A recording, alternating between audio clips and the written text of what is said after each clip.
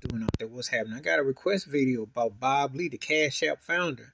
I got to ask uh, one of my one of my uh, regulars asked me to do a take on it. So here we go. Yeah, this was inside hit. Um, Frisco is getting hit left and right. The Bay has been notorious for different situations, but um, there's a lot going on. Um, during the pandemic lockdown, Asian community was getting hit and swept.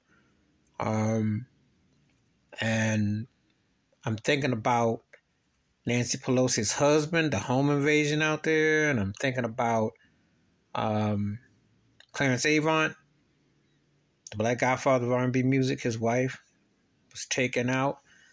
You know, and these upper tier suburban nights, economical levels, etc. People, and it's not just the middle person; they're going after people. But this here was inside job. Um, you know, when you think about Bob Lee, when you think about this situation, um, somebody knew who he was.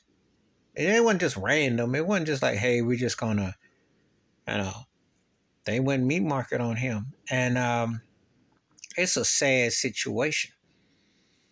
You know, you create something, you do something, and people take it upon themselves to uh, dislodge you, you know, we live in a very troubling time.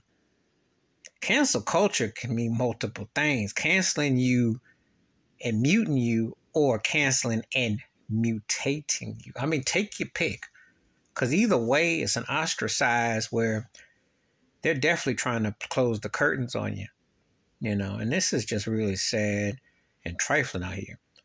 That people who make their living, do whatever they do, that someone takes it upon themselves to take them out for no real just cause.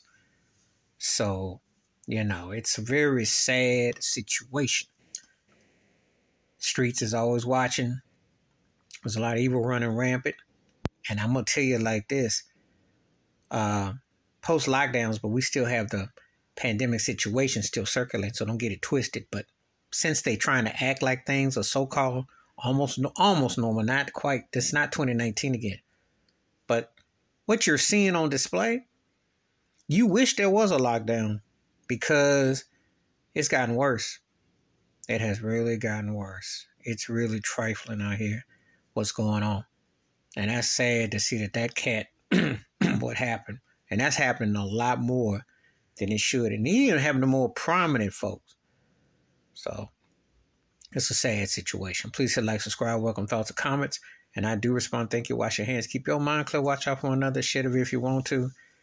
And this kind of world ain't no joke. They're coming after all walks of life, all backgrounds, economical. There's no hiding in the burbs or hiding in the bushes no more. They're looking everywhere. And that's a very terrifying situation when something like this happens so open and so blatantly. I'm out.